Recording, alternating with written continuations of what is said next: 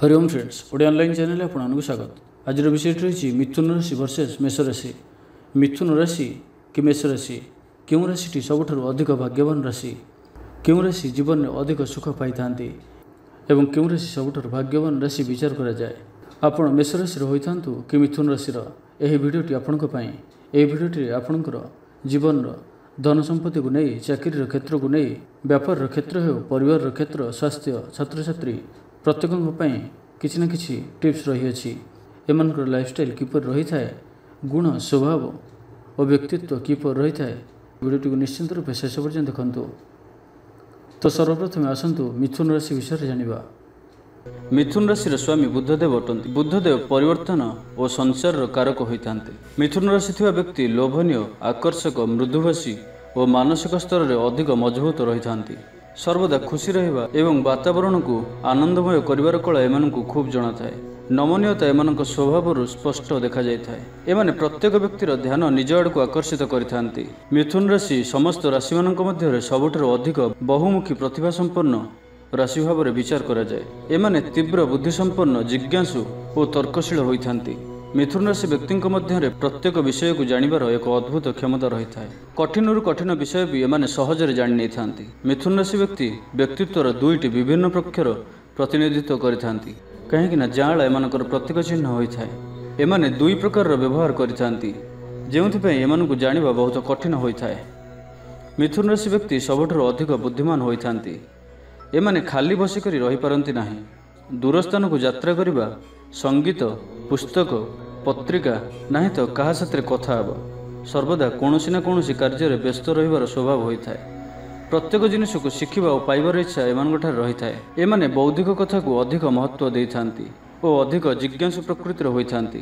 ମିଥୁନ ରାଶି ବ୍ୟକ୍ତି ବୁଦ୍ଧିଜୀବୀ ଓ ସ୍ୱତନ୍ତ୍ର ହୋଇଥାନ୍ତି। ଏମାନଙ୍କର ମସ୍ତିଷ୍କ ସର୍ବଦା ଗତିମାନ ରହିଥାଏ। ଏମାନେ ସବୁକିଛି ଅନୁଭବ କରିବାକୁ ଇଚ୍ଛା ରଖିଥାନ୍ତି। ଏମାନଙ୍କଠାରେ କିଛି ନୂଆ କରିବାର ପ୍ରବୃତ୍ତି ମିଳିଥାଏ। ଏମାନେ ଯେଉଁ କଥାରେ ମିଶିଥାନ୍ତି ତାହା କେବଳ ସାଧାରଣ କଥା ନ ହୋଇ ସୂଚନା ପ୍ରଦାନ ହୋଇଥାଏ। ତର୍କ ବିତର୍କ କରିବାରେ କୁଶଳୀ ମିଥୁନ ରାଶିର ଲୋକଙ୍କ ଭାଷାଶୈଳୀ କୋମଳ ଓ ଅତ୍ୟନ୍ତ ପ୍ରଭାବଶାଳୀ ହୋଇଥାଏ। ଏମାନେ ନିଜର ଭାଷଣ କଳା ଦ୍ୱାରା ଲୋକମାନଙ୍କୁ ସହଜରେ ହିଁ ପ୍ରଭାବିତ କରିପାରନ୍ତି। ମିଥୁନ ରାଶି ବ୍ୟକ୍ତି ନୂଆ ନୂଆ ମିତ୍ର କରିବାରେ କୁଶଳୀ ହୋଇଥାନ୍ତି। ଏମାନେ ଲୋକମାନଙ୍କଠାରେ ବ୍ୟର୍ଥରେ ଶତ୍ରୁତା ରଖିବା ପସନ୍ଦ କରନ୍ତି ନାହିଁ। ମିଥୁନ ରାଶି ବ୍ୟକ୍ତିଙ୍କ ବଡ଼ ସଂଖ୍ୟାରେ ମିତ୍ର ଓ ପ୍ରଶଂସକ ରହିଥାନ୍ତି। ତା ସହିତ ଏମାନେ ସର୍ବଦା ନୂଆ ମିତ୍ର କରିବାରେ ଓ ଖୋଜିବାରେ ଲାଗି ରୁହନ୍ତି। ଏମାନଙ୍କ ବୁଦ୍ଧି ତୀକ୍ଷ୍ଣ ହୋଇଥାଏ। କିଛି ନା କିଛି କରିବା ଏମାନଙ୍କ ସ୍ୱଭାବ ହୋଇଥାଏ। ପ୍ରତ୍ୟେକ କାମକୁ ଶିଖିବା ଓ ଜାଣିବାର ଇଚ୍ଛା ଏମାନଙ୍କଠାରେ ପ୍ରବଳ ମାତ୍ରାରେ ରହିଥାଏ। ଏମାନେ ବୌଦ୍ଧିକ କଥାକୁ ଅଧିକ ମହତ୍ତ୍ୱ ରଖିଥାନ୍ତି ଓ ଅଧିକ ଜିଜ୍ଞାସୁ ପ୍ରକୃତିର ହୋଇଥାନ୍ତି। ଏମାନେ ନିଜର ଭାଷଣ କଳା ଦ୍ୱାରା ଲୋକଙ୍କୁ ସହଜରେ ପ୍ରଭାବିତ କରିପାରନ୍ତି। କଠିନରୁ କଠିନ ସମୟ ଆସିଲେ ବି ଭୟ କରନ୍ତି ନାହିଁ। ଏମାନେ ଯେକୌଣସି ସମସ୍ୟାର ସମାଧାନ ସହଜରେ କରିପାରନ୍ତି। ନମ୍ର ସ୍ୱଭାବ ସମ୍ପନ୍ନ ଚଞ୍ଚଳ ଓ ମୃଦୁଭାଷୀ ହୋଇଥାନ୍ତି। ବେଳେବେଳେ ଏମାନେ ପିଲାଙ୍କ ପରି ବ୍ୟବହାର କରିଥାନ୍ତି। ଗୁମସୁମ ବାତାବରଣକୁ ବି ହସଖୁସିର ପରିବେଶ କରିବାର ଏକ ବିଶେଷ କ୍ଷମତା ଏମାନଙ୍କଠାରେ ରହିଥାଏ ଓ ଏହି ଏକ କାରଣ ଏମାନଙ୍କୁ ଅନ୍ୟମାନଙ୍କଠାରୁ ଅଲଗା ଓ ଉଚ୍ଚକୋଟୀର ବ୍ୟକ୍ତିତ୍ୱ ପ୍ରଦାନ କରିଥାଏ। ମିଥୁନ ରାଶି ବ୍ୟକ୍ତି ମନୋରଞ୍ଜନ ପ୍ରିୟ ହୋଇଥାନ୍ତି। ଏମାନେ ସର୍ବଦା ଉର୍ଜାରେ ପରିପୂର୍ଣ୍ଣ ରହିଥାନ୍ତି। ଏମାନଙ୍କ ମନମୋହକ ସ୍ୱଭାବ ପାଇଁ ସମାଜରେ ଏମାନଙ୍କୁ ଖୁବ୍ ପସନ୍ଦ କରାଯାଇଥାଏ। କାରଣ ଏମାନଙ୍କୁ ଜଣାଥାଏ କି ଲୋକଙ୍କୁ କିପରି ଖୁସିରେ ରଖାଯାଏ। ଏମାନେ ନିଜକୁ ଯେକୌଣସି ପରିବେଶରେ ଖାପ ଖୁଆଇ ସହଜରେ ଚଳିପାରନ୍ତି। ଏମାନେ ଚତୁର ହୋଇଥାନ୍ତି ଓ କିଛି ବିଶେଷ ଉଦ୍ଦେଶ୍ୟକୁ ପୂରଣ କରିବା ପାଇଁ କାହା ସହିତ ବି ଭଲ ସମ୍ବନ୍ଧ କରିଦେଇଥାନ୍ତି। ତାଙ୍କୁ ପସନ୍ଦ କରୁଥାନ୍ତୁ କି ନାହିଁ? ଏମାନଙ୍କୁ ନିଜର କାମ କରାଇବାର କୌଶଳ ଖୁବ୍ ଭଲ ଭାବରେ ଜଣା। ଏମାନେ ସର୍ବଦା ନିଜ ଆୟୁଠାରୁ ଛୋଟ ଦେଖାଯାଇଥାନ୍ତି। ଏମାନେ ଭଲ ପାଇବା କ୍ଷେତ୍ରରେ ଟିକେ ଆଗୁଆ ରହିଥାନ୍ତି। ମିଥୁନ ରାଶି ଥିବା ଜାତକଙ୍କୁ ସାଥୀ କରିବା କେବେ ବି ବୋରିଂ ହୋଇନଥାଏ ବରଂ ଖୁବ୍ ରୋମାଣ୍ଟିକ୍ ହୋଇଥାଏ। ବିବାହ ସମୟରେ ବହୁତ ହିଁ ଦେଖିଚାହିଁ ହିଁ କୌଣସି ନିର୍ଣ୍ଣୟ କରିଥାନ୍ତି। ଏମାନଙ୍କ ପାଇଁ ସମ୍ପର୍କ ବହୁତ ମୂଲ୍ୟବାନ ହୋଇଥାଏ। ଏମାନେ ଏପରି ଜୀବନସାଥୀର ଇଚ୍ଛା ରଖିଥାନ୍ତି ଯିଏକି ଏମାନଙ୍କର କଥା ଓ ଭାବନାକୁ ବୁଝିପାରୁଥିବେ। ଏମାନେ ଭଲ ପାଇବା କ୍ଷେତ୍ରରେ ସର୍ବଦା ବିଶ୍ୱସନୀୟ ରହିଥାନ୍ତି। ଏବେ ଆସନ୍ତୁ ଜାଣିବା ଏମାନଙ୍କ କ୍ୟାରିୟର କିପରି ହୋଇଥାଏ। ମିଥୁନ ରାଶି ବ୍ୟକ୍ତି ଏପରି କାର୍ଯ୍ୟ କରିବାକୁ ପସନ୍ଦ କରିଥାନ୍ତି ଯିଏ ଏମାନଙ୍କୁ ଏମାନଙ୍କ ବୁଦ୍ଧି ଓ ଜ୍ଞାନକୁ ସ୍ୱତନ୍ତ୍ରତାର ସହିତ ପ୍ରୟୋଗ କରିବାକୁ ପର୍ଯ୍ୟାପ୍ତ ଅବସର ପ୍ରଦାନ କରୁଥାଏ। ଏମାନେ ମାନସିକ କାର୍ଯ୍ୟ ଭଲସେ କରିଥାନ୍ତି। ଏମାନେ ଯେକୌଣସି ସମସ୍ୟାକୁ ନିଜର ବୁଦ୍ଧି ବଳରେ ସହଜରେ ସମାଧାନ କରିପାରନ୍ତି। ଏମାନଙ୍କ ପ୍ରଭାବଶାଳୀ ବିଚାର ଦ୍ୱାରା କୌଣସି ବି ଟିମ୍ର ମହତ୍ତ୍ୱପୂର୍ଣ୍ଣ ଭୂମିକା ଗ୍ରହଣ କରିଥାନ୍ତି। ଏମାନେ ନିଜର କାର୍ଯ୍ୟକ୍ଷେତ୍ରରେ ପ୍ରାୟତଃ ପରିବର୍ତ୍ତନ କରିଥାନ୍ତି। ଏଥିପାଇଁ ପ୍ରତ୍ୟେକ କ୍ଷେତ୍ରରେ ଜ୍ଞାନ ଏମାନଙ୍କ ପାଖରେ ରହିଥାଏ। ମିଥୁନ ରାଶି ବ୍ୟକ୍ତି ଏକ ସମୟରେ ଗୋଟିଏରୁ ଅଧିକ କାମ କରିବାରେ କୁଶଳୀ ହୋଇଥାନ୍ତି ଓ ଅଲଗା ଅଲଗା କ୍ଷେତ୍ରରେ ଏମାନେ ପ୍ରସିଦ୍ଧି ଲାଭ କରିଥାନ୍ତି। ମାନସିକ ଓ ବୌଦ୍ଧିକ ରୂପରେ ଏମାନେ ଅଧିକ ପରିପକ୍ୱ ହୋଇଥାନ୍ତି। ଏମାନେ ଯେଉଁ କ୍ଷେତ୍ରକୁ ବି ବାଛିଥାନ୍ତି ତାହାର ସମ୍ପୂର୍ଣ୍ଣ ଜ୍ଞାନ ରଖିଥାନ୍ତି। ଏମାନେ ନିଜର କାର୍ଯ୍ୟସ୍ଥଳରେ ବହୁତ ହିଁ ବୁଦ୍ଧିମତାର ସହିତ ନିଜର କାର୍ଯ୍ୟକୁ ସମ୍ପାଦନ କରିଥାନ୍ତି। ମିଥୁନ ରାଶି ବ୍ୟକ୍ତି ଉତ୍କୃଷ୍ଟ କଳାକାର ଲେଖକ ପତ୍ରକାର ହୋଇପାରନ୍ତି ଓ ଏମାନେ ବ୍ୟାପାର ଓକିଲାତି ବ୍ୟାଙ୍କିଂ ଅଧ୍ୟାପନା ଓ ଇଞ୍ଜିନିୟରିଂ ସମ୍ବନ୍ଧୀୟ କାର୍ଯ୍ୟରେ ଉଚ୍ଚ ପଦକୁ ପହଞ୍ଚିଥାନ୍ତି। ମିଥୁନ ରାଶି ବ୍ୟକ୍ତିଙ୍କ ଶୁଭ ରଙ୍ଗ ହୋଇଥାଏ ସବୁଜ ରଙ୍ଗ। ଶୁଭ ଅଙ୍କ ହୋଇଥାଏ ପାଞ୍ଚ। ଶୁଭ ଦିନ ହୋଇଥାଏ ବୁଧବାର। ତେବେ ଆସନ୍ତୁ ମେଷ ରାଶି ବିଷୟରେ ଜାଣିବା। ଦେଖନ୍ତୁ ଏହି ରାଶିଜାତ ବ୍ୟକ୍ତି ଅଶ୍ୱିନୀ ଦ୍ୱିଜା ଓ କୃତିକା ନକ୍ଷତ୍ରର ଆଦ୍ୟ ପଦରେ ଜନ୍ମଗ୍ରହଣ କରିଥିବାର ଦେଖାଯାଏ। ସେମାନଙ୍କ ରାଶି ନାମରେ ପ୍ରଥମ ଅକ୍ଷର ଚେ ଚୁ ଚୋ ଲ ଲି ଲୁ ଲେ ଲୋ ଡ ଅ। ଏହି ନଅଟି ଅକ୍ଷର ମଧ୍ୟରୁ ଗୋଟିଏ ନିଶ୍ଚିନ୍ତ ହୋଇଥାଏ।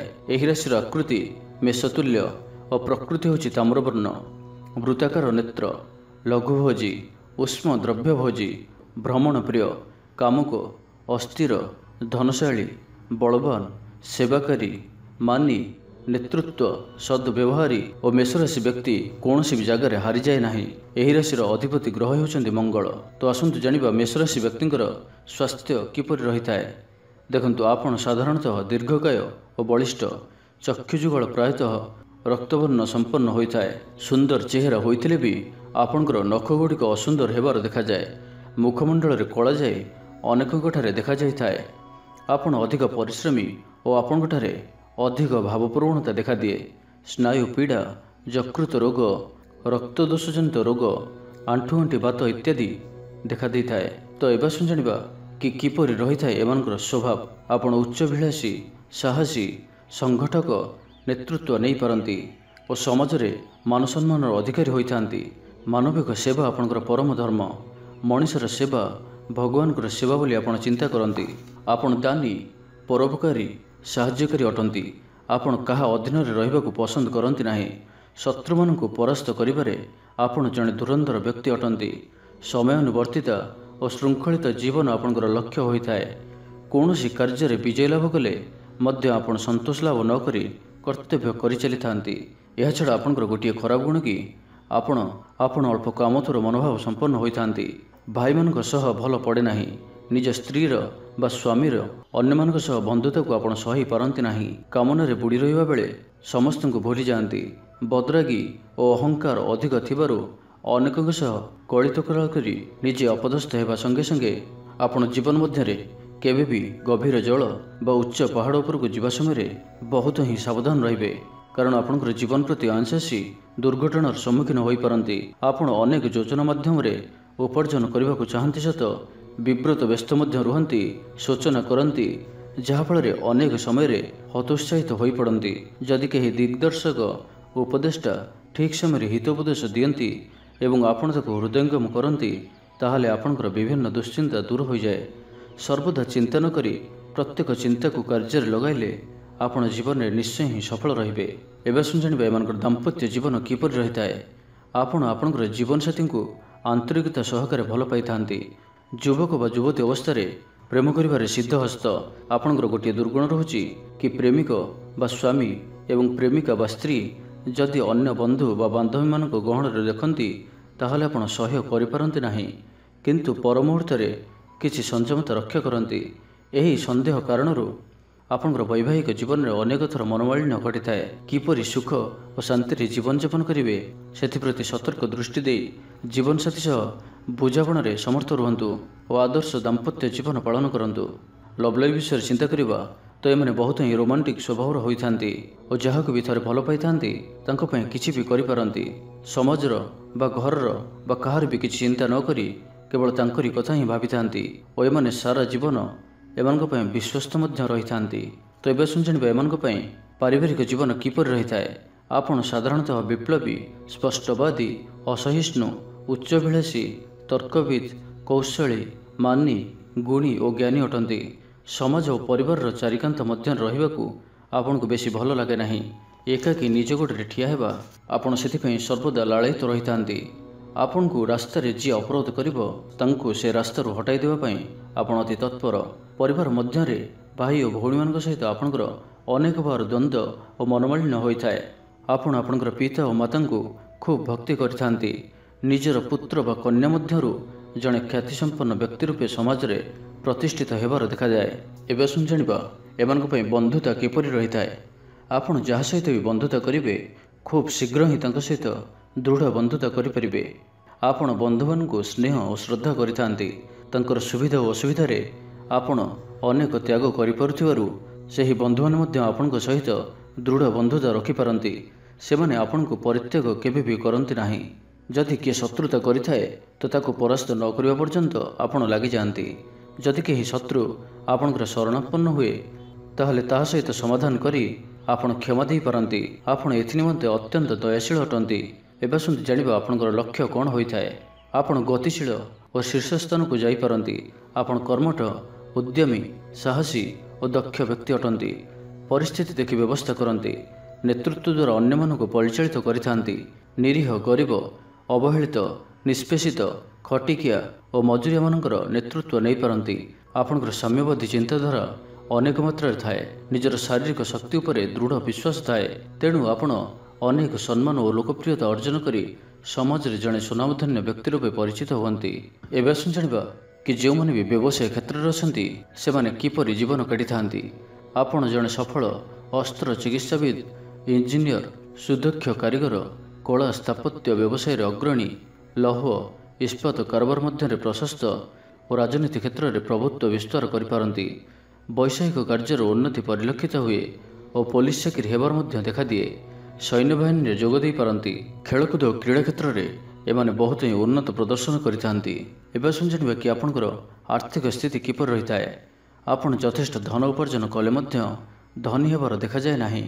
ଆପଣ ଲୋଭୀ ଓ କୃପଣ ନୁହନ୍ତି ସତ କିନ୍ତୁ ଅନ୍ୟମାନଙ୍କ ନିମନ୍ତେ ଅଯଥା ବ୍ୟୟ କରିଥାନ୍ତି। ଧନ ଲୋଭରେ ନିଜର ସମ୍ମାନକୁ ତଳେ ପକାଇ ଦିଅନ୍ତି ନାହିଁ। ଅର୍ଜିତ ସମ୍ପତ୍ତି ଆପଣ ଭୋଗ କରିବାରେ ଅସୁବିଧା ଦେଖାଦେଇଥାଏ। ଏବେ ଜାଣିବା ଏମାନଙ୍କ ପାଇଁ ଏମାନଙ୍କର ଆଧ୍ୟାତ୍ମିକତା କିପରି ରହିଥାଏ? ମାନବର ସେବା ଭଗବାନଙ୍କର ସେବା ବୋଲି ଆପଣ ଚିନ୍ତା କରିଥାନ୍ତି। ପ୍ରତ୍ୟେକ ସମୟରେ ଜନସାଧାରଣଙ୍କର ସେବା ପାଇଁ ନିଜକୁ ଉତ୍ସର୍ଗୀକୃତ କରିଦେଇଥାନ୍ତି। ପରିଣତ ବୟସରେ ଆପଣ ଈଶ୍ୱର ବିଶ୍ୱାସ ହୋଇ ଅନେକ ଧର୍ମକାର୍ଯ୍ୟ କରିଥାନ୍ତି। ତ ଏବେ ଆସନ୍ତୁ ଜାଣିବା କି ମେଷରାଶିର ବ୍ୟକ୍ତିଙ୍କ ପାଇଁ ଆପଣଙ୍କର କିଛି ଲକ୍ଷୀ ଜିନିଷ ବିଷୟରେ। ଆପଣଙ୍କ ପାଇଁ ଶୁଭ ଦିନ ହୋଇଥାଏ ମଙ୍ଗଳବାର। ମଙ୍ଗଳବାର ଆପଣଙ୍କ ପାଇଁ ଅତି ଶୁଭପ୍ରଦ ଅଟେ। ରବିବାର ସୋମବାର ଓ ଗୁରୁବାର ମଧ୍ୟ ଆପଣଙ୍କ ପାଇଁ ଶୁଭଦାୟକ ହୋଇଥାଏ। ଆପଣଙ୍କ ପାଇଁ ଶୁଭ ସଂଖ୍ୟା ନଅ। ଏହି ସଂଖ୍ୟାଟି ଆପଣଙ୍କ ପାଇଁ ଅତ୍ୟନ୍ତ ଶୁଭ ବିଚାର କରାଯାଏ। ତାହା ସହିତ ଏକ ତିନି ଓ ସାତ ମଧ୍ୟ ଆପଣଙ୍କ ପାଇଁ ଶୁଭ ଅଟେ। ଆପଣଙ୍କ ପାଇଁ ରତ୍ନ ହେଉଛି ପ୍ରବାଳ ଧାତୁ ହେଉଛି ତାମ୍ର ତନ୍ତ୍ରମତେ ବଗଳା ଓ ପ୍ରକାରାନ୍ତର ଭାବେ ଦେବତା ଧୂମାବଦୀ ଅବତାର ନୃସିଂହ ଅବତାର ଶୁଭ ରଙ୍ଗ ଆପଣଙ୍କ ପାଇଁ ହେଉଛି ଲାଲ ରଙ୍ଗ। ଆପଣଙ୍କ ପାଇଁ ଆରାଧ୍ୟ ଦେବତା ବକ୍ରତୁଣ୍ଡ ଗଣେଶ ଓ ହନୁମାନଜୀ। ଏମାନେ ଆପଣଙ୍କର ଆରାଧ୍ୟ ଦେବତା। ଗଣେଶଜୀଙ୍କର ଦର୍ଶନ ଓ ହନୁମାନଜୀଙ୍କର ଦର୍ଶନ ଆପଣଙ୍କ ପାଇଁ ଅତ୍ୟନ୍ତ ହିଁ ଶୁଭ ଫଳ ପ୍ରଦାନ କରିଥାଏ। ତ ଏହା ଥିଲା ମିଥୁନ ରାଶି ଭର୍ସେସ୍ ମେଷ ରାଶି କେଉଁ ରାଶିଟି ଆପଣ ବାଛିଥିଲେ ଏବଂ ଆପଣଙ୍କର କେଉଁ ରାଶି ତାହା ଆମକୁ କମେଣ୍ଟ କରି କୁହନ୍ତୁ।